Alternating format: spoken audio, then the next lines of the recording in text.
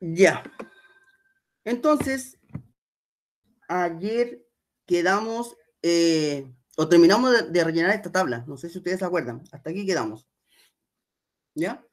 Y por el tiempo no alcanzamos a graficarla. ¿Ya? Pero esta tabla ya la habíamos completado. Entonces, acá hay que fijarse bien que estas dos funciones son de exponente par, par positivo, ¿ya? Pero ahora el A era negativo, ¿ya? Y eso afectaba un poco a la gráfica. Aquí también, aquí tenemos dos funciones con exponente impar y el A es negativo, ¿ya? Esta tabla ya la rellenamos ayer, ¿ya? Así que estaba lista. Eh, si tienen dudas, pueden revisar la grabación de ayer, ¿ya? Ahora, la gráfica de estas funciones quedarían así. ¿Ya?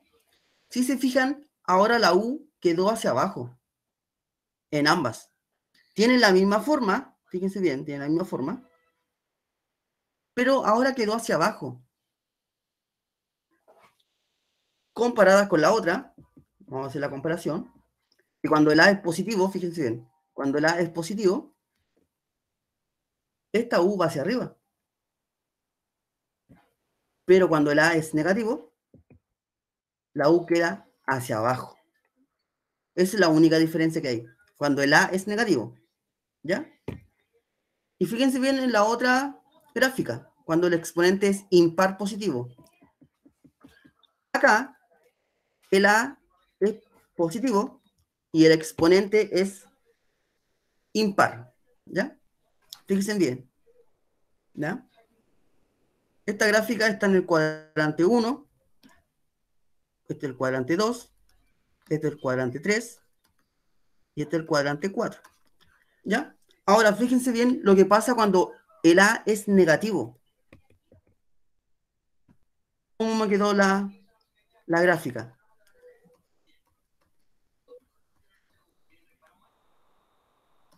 la gráfica cambió de posición. Tiene la misma estructura, pero cambió de posición. Entonces, eso es lo que hace o afecta el, signo de la. Recuerden que la función potencia tiene esta estructura. ¿Ya? Entonces, el A, ¿qué es lo que hace? Cambia de lado la gráfica. Solamente eso, cambia de lado la gráfica. Tiene la misma forma, pero le cambia, lo cambia de lado. ¿Ya? Ahora, todo esto lo vamos a resumir, ¿ya? Conclusión.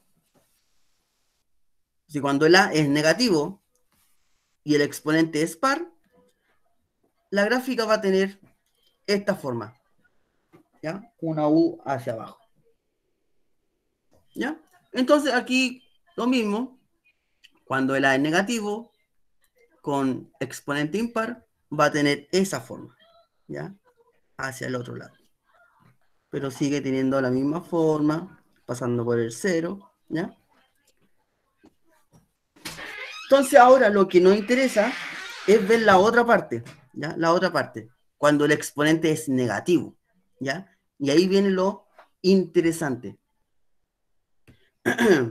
Entonces, vamos a ver los últimos cuatro gráficos que nos queda por ver, ¿ya? Nos quedan cuatro solamente. Entonces, ahora la idea es graficar estas cuatro funciones. Si se fijan aquí, el exponente es impar negativo, impar negativo, par negativo, par negativo, ¿ya? Y aquí el A en todo es positivo. ¿ya? Aquí el A es positivo. Después vamos a ver cuando el A es negativo. Entonces vamos a empezar a graficar esto. ¿ya?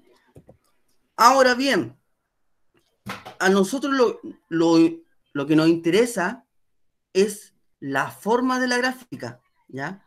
La forma de la, la gráfica es lo que nos importa. ¿ya? Bien, entonces aquí yo al X ya le tengo eh, los valores asignados. ¿ya? Si se fijan, le tengo hasta un medio, un cuarto, menos un medio. Y aquí le voy a explicar el por qué le tengo fracciones. Ahora, como el nombre lo dice, se llama función potencia. Entonces vamos a tener que aplicar algunas propiedades de potencia con exponente negativo. ¿Ya? Cuando una potencia tenía el exponente negativo, se aplicaba la propiedad que era, se le agregaba un 1 al numerador y toda esta potencia pasaba al denominador con exponente positivo. ¿Ya? Esa era la propiedad que nosotros eh, ya vimos ya hace un par de meses. Y también la otra propiedad que vamos a ocupar es cuando la base de la potencia es una fracción con exponente negativo, con exponente negativo, aplicando propiedad, esta fracción se invierte. ¿Ya? Esas dos vamos a ocupar para poder graficar esta función. Empezamos con el menos 2. Entonces, ¿qué significa que el x eh, le, doy el valor de menos 2? Que este menos 2 se reemplaza en la función. Se reemplaza en la función. Me va a quedar menos 2 elevado a menos 1. Aplico propiedad. ¿Ya? Como el exponente es negativo, yo le agrego un 1 y toda esta potencia pasa al denominador, pero con exponente positivo. Y aquí yo empiezo a calcular. 1 dividido en menos 2 elevado a 1. Dígame. Que una, Roxana levantó la mano. Profe, lo que pasa es que ayer me confundí en todo lo que estaba pasando, entendí muy poco, pero cuando usted empieza a hacer el ejercicio mi pregunta, a lo mejor es muy tonta, pero me perdí, de por qué coloca usted eh, i igual menos 2. Yo estaba sacando que la, la x es el menos 2, ¿verdad? Pero ¿por qué la f significa i? Vamos a devolverlo. No sé si lo tengo acá escrito. No, lo tengo en el otro PPT. Eh, la semana pasada, no sé si ustedes se acuerdan, yo eh, expliqué o dije que las funciones, la función lineal y afín, lo dije, que se podía escribir así, ¿cierto? O se podría escribir así. Y representaban lo mismo. Y acá sucede lo mismo.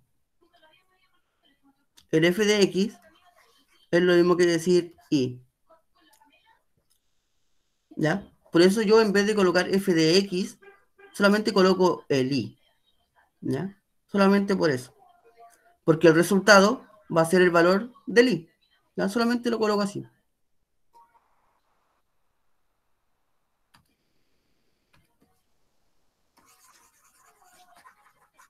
¿Ya? Solamente por eso. Ahora si quiere lo puedo colocar como f de x, no hay ningún problema. Al final es lo mismo.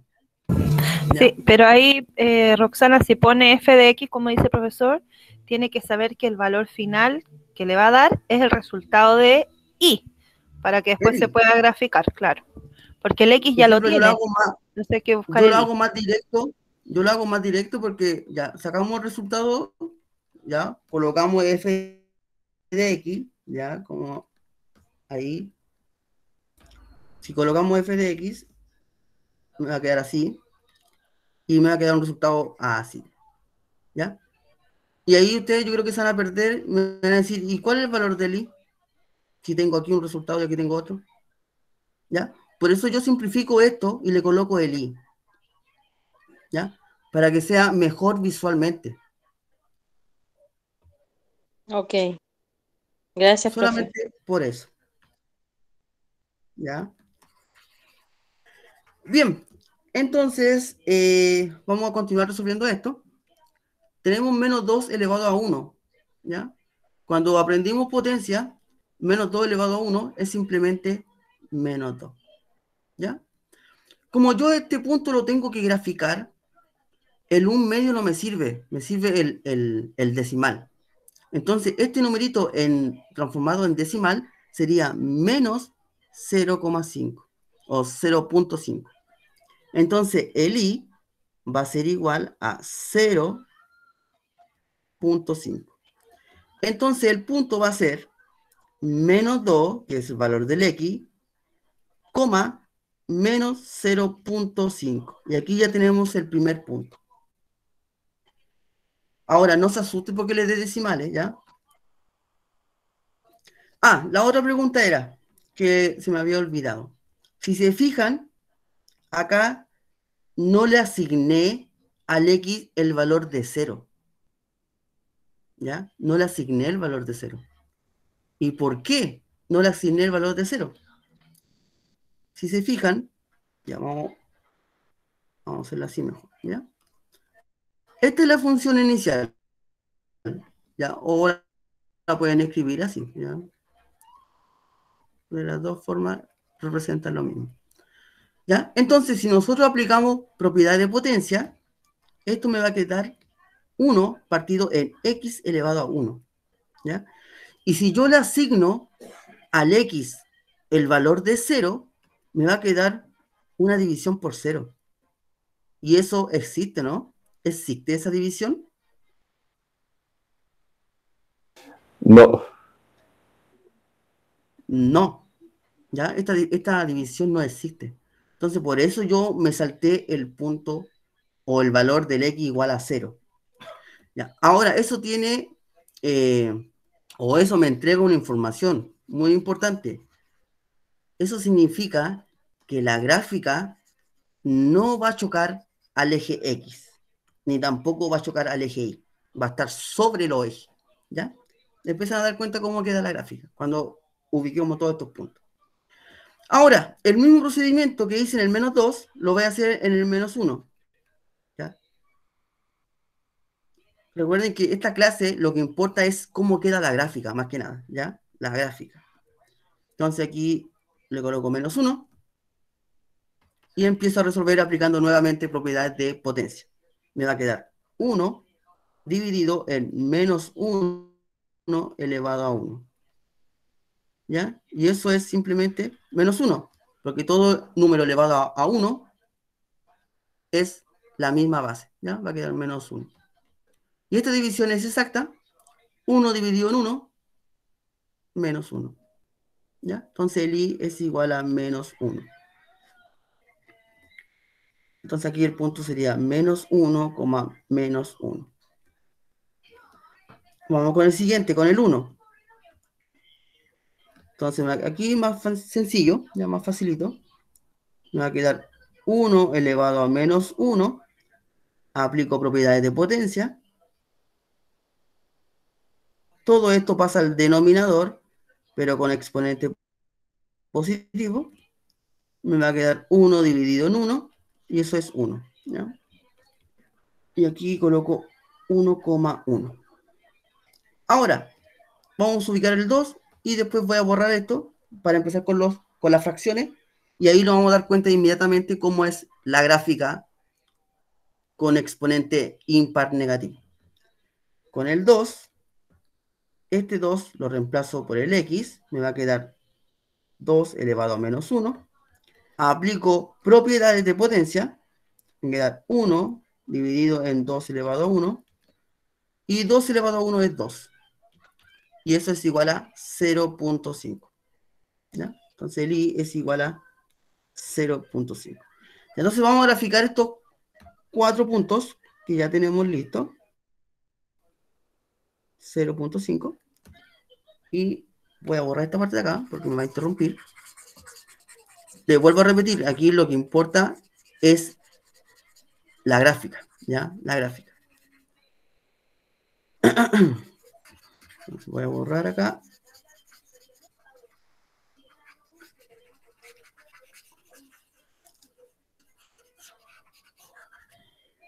Y voy a ubicar estos puntos. Recuerden que la primera coordenada es del X, la segunda es del Y. el eje vertical es el Y, el horizontal es el X. Tenemos menos 2, menos 0,5. Menos 2 es hacia la izquierda y menos 0,5 es hacia abajo. Está como la mitad, justo acá. Ahí estaría. El siguiente punto es menos 1, menos 1. Menos 1, menos 1. Acá. El segundo, el tercer punto, está listo, está listo, es 1,1. Ambos positivos, uno a la derecha, uno hacia arriba. Me va a quedar así.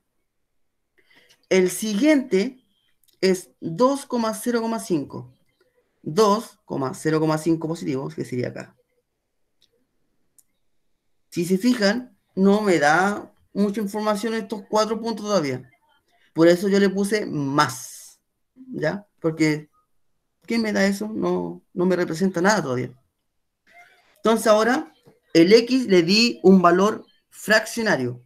¿Ya? Le di un X igual a un medio. Entonces, nuevamente, este un medio lo reemplazo en la función. Me va a quedar que el i es igual a un medio elevado a menos 1. Y aquí aplico esta propiedad, ¿ya? Que la fracción se invierte. Me va a quedar 2 dividido en 1. Y todo eso elevado a menos, a 1. Ahí pasa a ser positivo el exponente. 2 elevado a 1, o sea, 2 dividido en 1 es 2 elevado a 1. Y 2 elevado a 1 es 2. Entonces el punto va a ser como un medio, en decimales representa 0,5, el punto va a ser 0.5,2. Está ubicado, es igual. El mismo procedimiento para un cuarto. El mismo, el mismo. Un cuarto elevado a menos 1. Aplico propiedad. Significa que esta fracción se se me va a invertir. 4 dividido en 1 elevado a 1. 4 dividido en 1 es 4 y 4 elevado a 1 es 4. Entonces el punto va a ser eh, un cuarto, que es el valor del X, en decimales es 0.25,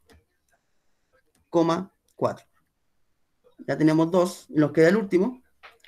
Acá nos queda el i va a ser igual a menos un medio elevado a menos 1. Aplico propiedad de potencia. La fracción se me invierte. Y el exponente pasa a ser positivo. 2 dividido en menos 1 es menos 2 y menos 2 elevado a 1, menos 2. Entonces aquí el punto va a ser menos 0,5, coma menos 2. Y con eso ya estamos ok. Les repito, aquí lo que importa es la gráfica, ya que la sepan diferenciar cuando es exponente par, impar exponente positivo, eh, positivo o exponente negativo. Vamos a ubicar los tres puntos que nos quedan, que sería 0,5 del X, o sea, están entre el 0 y el 1, la mitad, y 2 hacia arriba. Aquí y 2 hacia arriba, justo acá. El siguiente punto es 0,25,4. Entonces, es la mitad de la mitad, o sea, va a estar como en este lado, justo aquí, y 4 hacia arriba. Ahí. Y el siguiente punto es menos 0,5, aquí está el menos 0,5 y menos 2 hacia abajo. Ahora, si yo a esto le sigo dando, eh, al X, le sigo dando valores fraccionarios, estos puntos se van a ir acercando al eje Y, aquí se van a ir acercando al eje X. Si yo uno todo esto, me va a quedar algo así.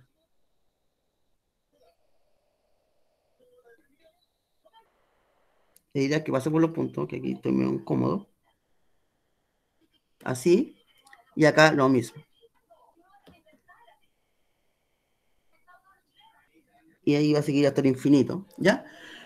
Y si fijan, esta gráfica, esta gráfica jamás va a chocar al eje X y tampoco va a chocar al eje Y, ¿ya?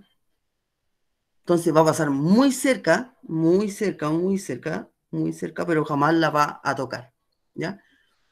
¿Y por qué? Por lo que le expliqué en delante, ¿ya? Porque el X no puede tomar el valor de cero, ¿ya? Por eso esta gráfica está sobre los ejes, ¿ya? Jamás los va a tocar, ¿ya? Entonces, esta gráfica eh, ocurre siempre y cuando el exponente sea impar negativo. Impar negativo. ¿Ya? Siempre va a tener esta forma. ¿Ya? Parece una mariposa si yo le hago un ojito ahí. ¿Mm? ¿Mm? ¿Ya? Pero esa es la forma que tiene la función potencia con exponente impar negativo. Ahora veamos la otra. Si se fijan acá, también tiene exponente negativo. Entonces, me va a dar la misma estructura, la misma forma que la anterior. ¿Ya? Vamos a ahorrar el tiempo de hacer los puntos, ¿ya? Porque ya sabemos cómo es la estructura que tiene una función, una función con exponente impar negativo. ¿Ya? Ahora, es importante que aquí se acuerden, aquí menos 3, que aquí el A tiene un valor asignado, ¿ya? Que a lo mejor aquí no está, no está anotado, pero está, está, está implícito ahí, ¿ya? Que sería el 1, ¿ya? Aquí hay un 1 positivo que no se anota, ¿ya? Que ese sería el valor del A, ¿ya? Positivo. Bien. Y ahí estaría la conclusión, ¿ya? Cuando el exponente es impar, ¿ya? Pero negativo. Y el A es positivo, ¿ya? Ahora, ¿qué es lo que hace cuando el A es negativo? Fíjense bien, me lo cambia de lado. Esta gráfica me la cambia de lado. ¿Ya? Entonces esa es la diferencia o es, mejor dicho, lo que hace el signo de la. ¿Ya? Si es positivo, aquí el A positivo, lo voy a colocar aquí mejor. Aquí el A es negativo. Negativo. ¿Ya? Solamente, ¿qué es lo que hace? Cambia de posición la gráfica. Tiene la misma forma, solamente la cambia. Podríamos decir que la traslada, ¿ya? Pero sigue siendo la misma forma, ¿ya? con exponente impar, no se olvide, impar. Bien, entonces ahora nos queda eh, que ver solamente eh, dos gráficos más, que sería cuando el exponente es par, ¿ya? Cuando es par.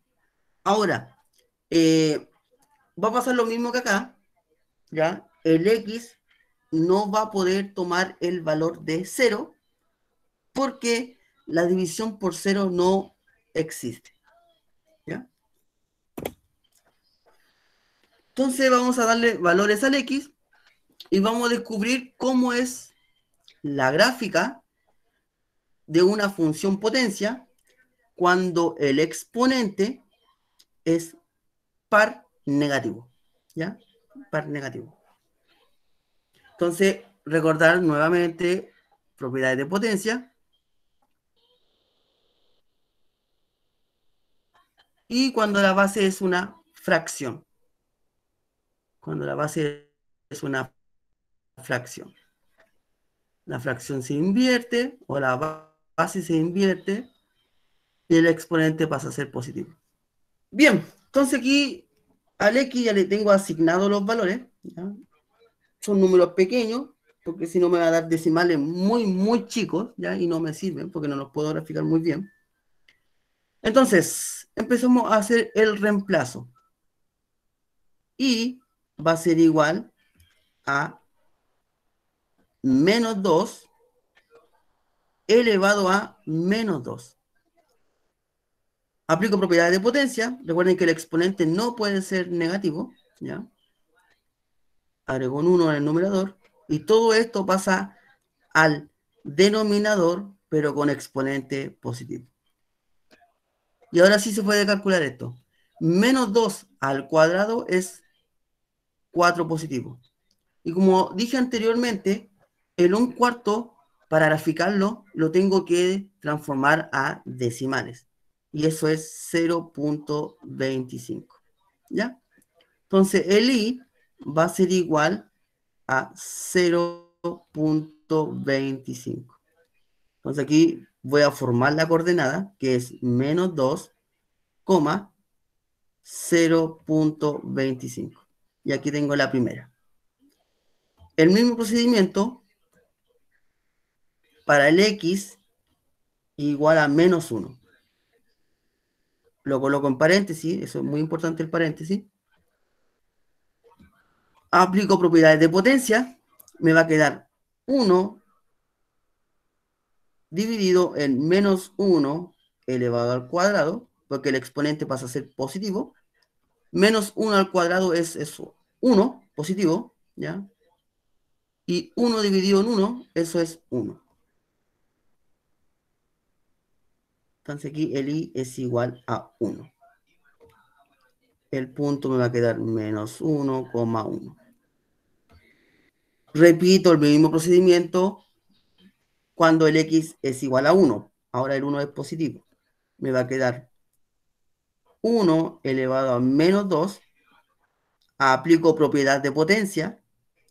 Me va a quedar 1 dividido en 1 al cuadrado y 1 al cuadrado es 1 y 1 dividido en 1, 1. Entonces ahí encontramos el valor del i, que también es 1. El punto va a ser 1,1. Con el 2, nuevamente, i igual a 2 elevado a menos 2, repito el procedimiento, agrego el 1 y toda esta potencia pasa al denominador, pero con exponente positivo. 2 elevado a 2 es 4 y un cuarto en decimal es 0.25.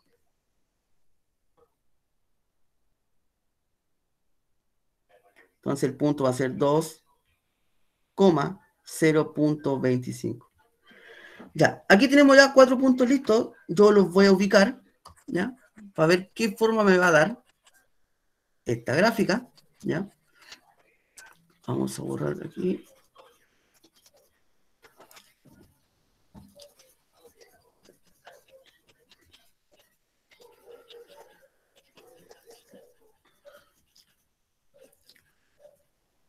Ya, entonces vamos a empezar a ubicar los puntos. El primero, menos 2,0.25. Está el, el X, no lo pueden olvidar.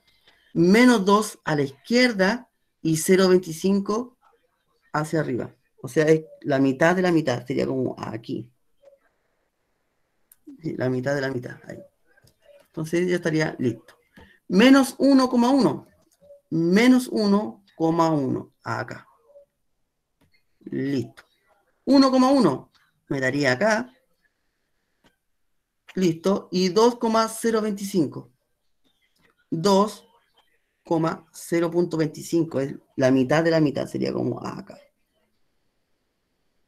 Ahora, estos cuatro puntos no me dicen mucho, ¿ya? Por eso le agregué dos más y le fueron fracciones.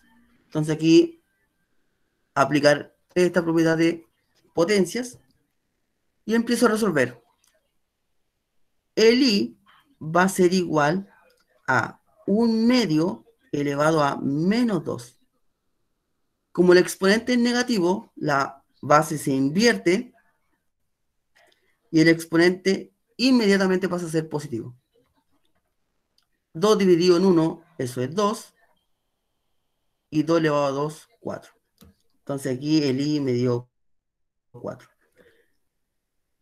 La coordenada será 0.5, que es del x, ¿ya?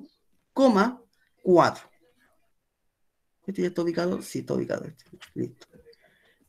El mismo procedimiento para el menos un medio. Y ahí estaríamos listos para poder graficar esto. Menos un medio elevado a menos 2.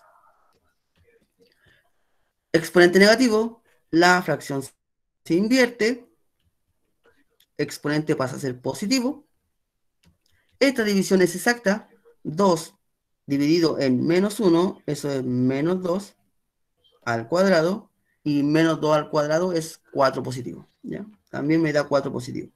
Entonces aquí el punto va a ser menos 0.5 que es del 1 medio, coma 4.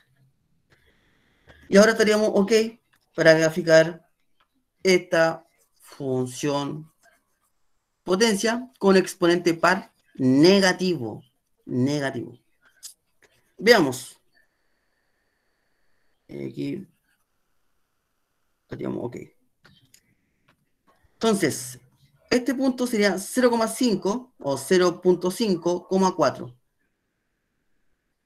el 0.5 es positivo, o sea, para la derecha, sería aquí, y 4 hacia arriba, acá. Ahí estaría. Listo. Y el otro es menos 0.5,4, o sea, es a la izquierda. La mitad aquí y 4 hacia arriba. Me queda justo al mismo nivel del otro. ¿Ya?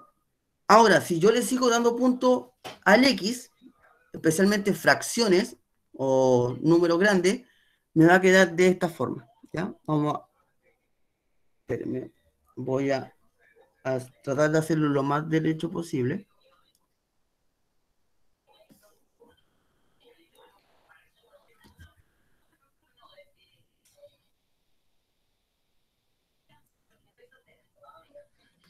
Espérenme. Y esto sigue hacia allá y acá lo mismo y sigo hacia allá. Y esta gráfica, al igual que la otra, no choca al eje X, no lo choca, pasa muy cerca, muy cerca, pero no lo toca. Y lo mismo pasa con el eje Y, pasa muy cerca, pero no lo toca. Entonces, la forma que va a tener una función potencia con exponente par negativo va a ser como un volcán, ¿ya? Que se va a ir acercando mucho al eje Y, mucho, pero no lo va a tocar. Y aquí va a pasar lo mismo, ¿ya? Porque el exponente es par y es negativo, ¿ya? Entonces, para ahorrarme todo el, el trabajo de la tablita, yo simplemente hago la forma que va a tener esta función. Bien, con eso podemos ya generalizar, ya, agrupar a todos los exponentes par negativos, ya, que van a tener esta forma de un volcán. Vuelvo a repetir, esta gráfica no toca el eje X, ni tampoco toca el eje Y, ¿ya? Ahora, es importante acá el signo de la. Fíjense bien acá, el A es positivo. Y acá es negativo. ¿Y qué es lo que hace el A? ¿O qué es lo que hace el signo de la? Es eh, cambiar de posición la gráfica. Acá con el exponente positivo, la gráfica va hacia arriba. Pero cuando el exponente es negativo, la gráfica me queda abajo. Me queda abajo. ¿Ya? Esa es la gran diferencia entre ambas. ¿Ya? Bien, tienen las dos funciones con exponente par negativo, pero una va hacia arriba y la otra va hacia abajo. Y ahí tienen que identificar bien cuando el A es positivo y cuando el A es negativo. Con eso ya eh, se vio todas las funciones potencia, ¿ya? Ahora yo hice como una, eh, un resumen de todas las funciones, todas juntas, ¿ya? Y con ese resumen, ustedes deben ser capaces de resolver la pregunta esencial, ¿ya? Porque la pregunta esencial no es ningún cálculo, es solamente eh, visual, ¿ya? Acordarse de estas cositas, ¿ya? Nada más que eso. Y aquí está el resumen. Entonces, vuelvo a repetir. Con este resumen, deben ser capaces ya de resolver la pregunta esencial. ¿Ya? Aquí tenemos todos los casos que eh, se dio ayer y lo que se dio hoy. Acá tenemos, vamos a ponerle numerito, 1 y 2. ¿Ya? En el caso 1 y 2 tenemos eh, dos funciones potencia con exponente par. Exponente par. ¿ya? Y fíjense la forma, forma de U, pero una va hacia arriba y la otra hacia abajo. ¿Ya? ¿Y qué me, eh, me cambia la posición de la gráfica? Es el A. Aquí el A es positivo. Y aquí el A es negativo. Fíjense bien, ahí le puse un signo. Este es positivo. Por si acaso, aquí lo voy a colocar positivo y aquí el A es negativo. ¿Ya? negativo. Acá, nuevamente, tenemos número 3, número 4. Tenemos dos funciones potencia con exponente impar, ¿ya? Impar positivo. Entonces, si se fijan, acá tiene una forma que ocupa el cuadrante 1 y el cuadrante 3 cuando el A es positivo.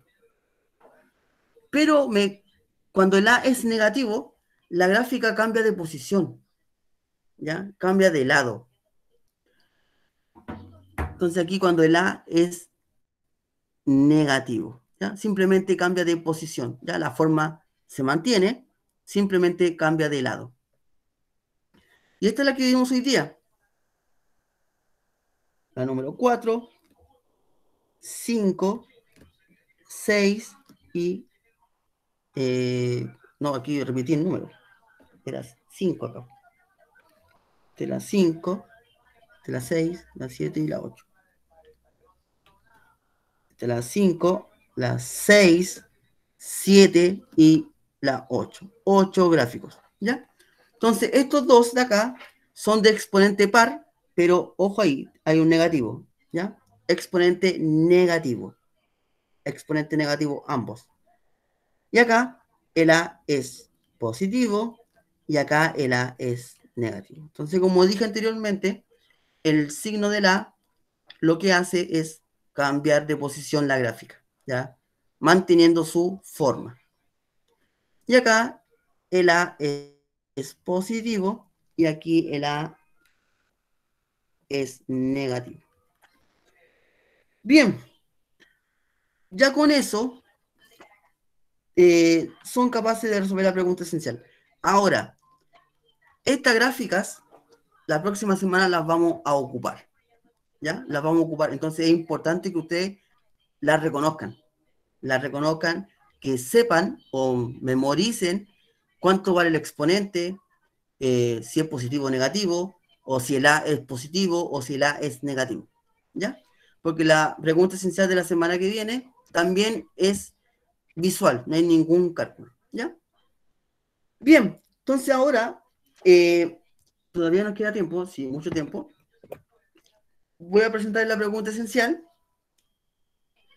y la voy a explicar nuevamente, ¿ya? Entonces, la número uno dice, la función f de x igual a a por x elevado a n representa, aquí me faltó una palabra, representa el siguiente gráfico, ¿ya?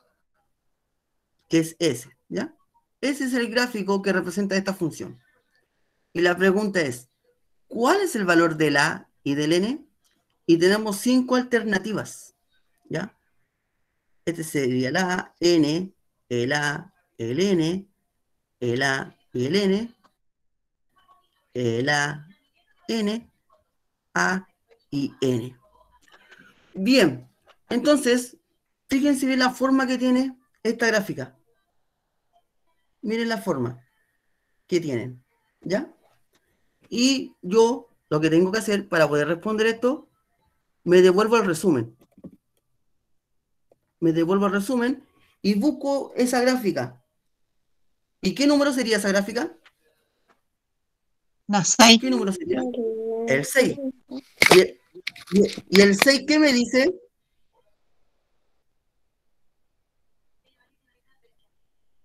Que el exponente es par negativo y el A es negativo. Ya. Y con eso ustedes responden. Y fíjense bien, busquen eso. No lo digan en voz alta, búsquenlo. Busquen el N que correspondiente a este. Y después busquen el A. ¿La identificaron o no? Sí, pues. Sí. Ya. Entonces, ya tienen la primera lista. Lista. Ustedes, por ejemplo, me mandan, eh, no me manden todo esto escrito de nuevo. O sea, me dicen uno y la alternativa. ¿Ya? Bien cortito. Nada más que eso. ¿Ya? Voy a explicar la dos ahora. ¿Ya?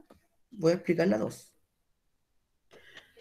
Estos tres gráficos eh, tienen algo en común.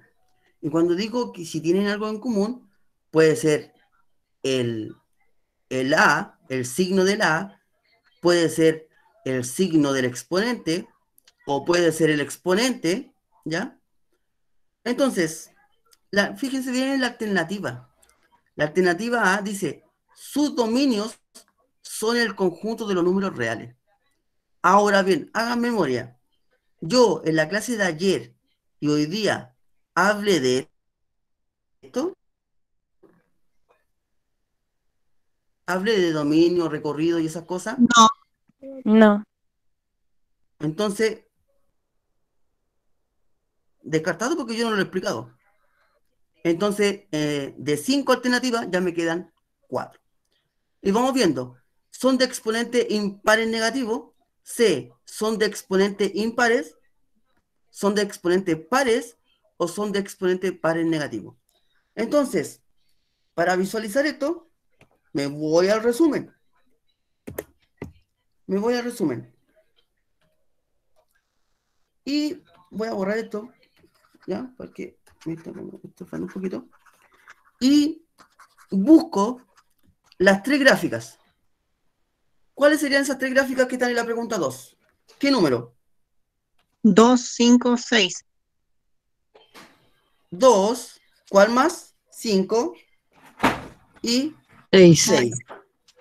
Ya. Ahora, fíjense lo que dice esta parte.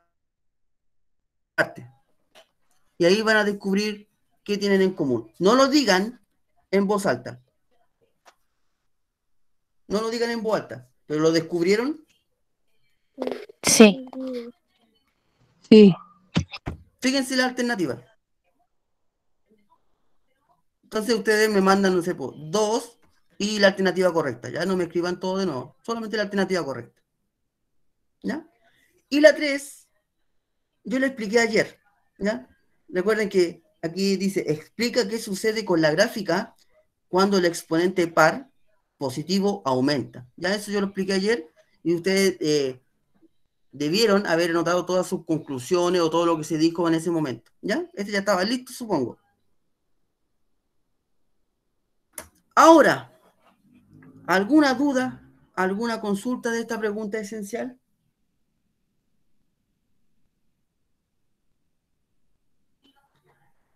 ¿Alguna duda, alguna consulta? Sí, yo, ¿cómo es que se le llamaba el A? El A es un- el coeficiente, póngale coeficiente nomás. ¿Ya? Coeficiente A.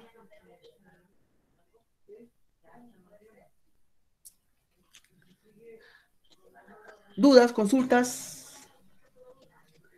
Si se fijan, la pregunta esencial está bien sencilla, es muy visual, ya no hay ningún cálculo, no hay nada de eso. ¿Dudas, consultas? Dudas, dudas, aprovechen.